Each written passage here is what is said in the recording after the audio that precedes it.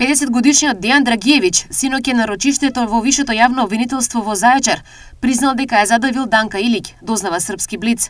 Според информациите, распитот на Дејан Драгиевиќ синоќе траел повеќе од 2 часа. Драгиевиќ раскажал дека откако ја удрил автомобилот, малата Данка паднала, а тој истрчал од совозачкото седиште, му пришол на девојчето и веднаш почнал да го дави. Со сета сила и го стиснал вратот и таа многу брзо престанала да дише, според негова проценка. После тоа и го ставиле телото во багажникот, па се оддалечиле и го фрлиле на депонијата.